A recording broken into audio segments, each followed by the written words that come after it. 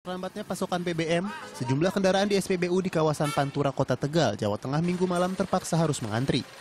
Bahkan salah satu SPBU di Pantura, tepatnya di Kelurahan Kerandon, Kecamatan Margadana, habis.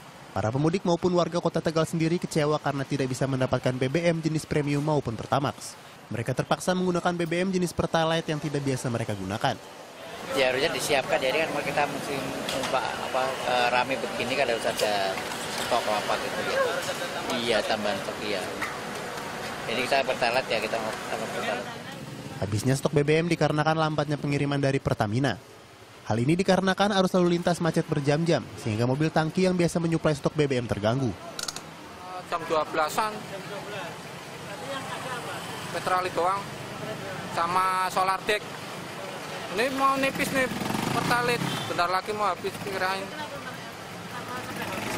Ya nggak tahu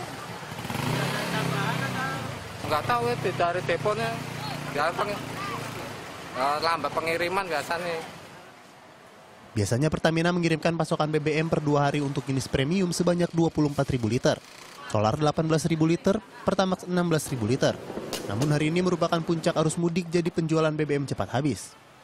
Triono Saifullah melaporkan untuk NET.